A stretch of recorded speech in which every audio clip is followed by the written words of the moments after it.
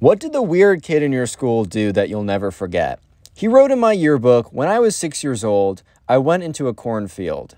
I didn't realize it was a maze. I was stuck for several days without food or water. When they found me, the doctor said I'd never be the same. Good luck in college! He said he was Sonic the Hedgehog. When someone asked him his name, he'd say, I'm Sonic, and run away as fast as he could. He even wrote his name as Sonic on homework and tests. Most people never knew his real name.